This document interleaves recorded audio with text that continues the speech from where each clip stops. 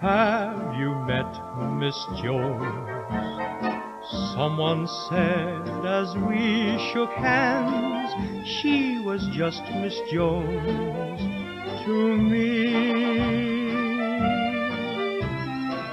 Then I said, Miss Jones, you're a girl who understands.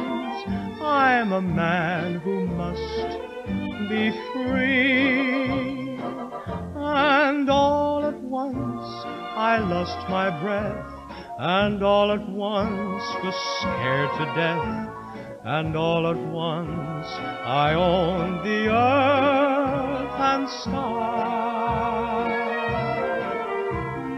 Now I've met Miss Jones, and we'll keep on meeting till we die, Miss Jones and I.